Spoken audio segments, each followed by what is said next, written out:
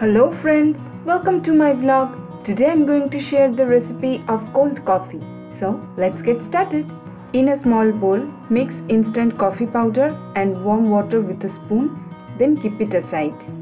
In a blending jar, add full fat milk, that prepared coffee mixture, vanilla ice cream and chocolate sauce. Blend everything well for a minute or until it becomes nice and frothy. Decorate the glass with some chocolate sauce like this way. Now pour the cold coffee shake in the glass along with the froth. Now add 2 scoops of vanilla ice cream over the top and drizzle some chocolate sauce. And that's it friends.